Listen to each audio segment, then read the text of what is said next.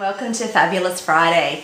So I want to talk to you about another trend that is cropping up for summer. Um, it's a trend that comes around a lot and a lot of people wear this colour in summer regardless of whether it's a high trend. And I'm talking about white.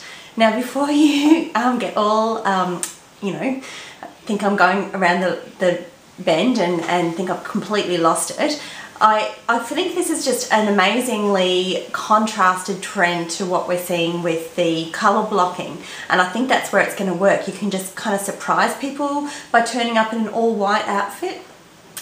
Um, if you have toddlers, um, those paw marks that they're going to reach up and grab you on your legs, it's probably not going to be the look for you. You could probably still do a white top although um, from my experience, uh, yeah, you're going to end up with stuff all over it.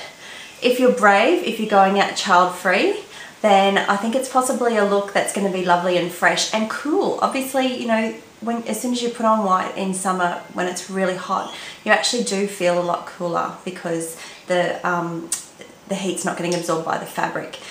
Now to pull off this all white look, we're not looking for a Gold Coast um, stereotypical, you know, white shoes, gold gold shoes, gold belt, that kind of look. We're actually looking for, it's a bit of a 70s look. So, you, you know, you might have the white palazzo pants, you'll have tan accessories, you might have a pop of red in it, just subtly, but not taking over the white. Um, that's the kind of thing we're looking for.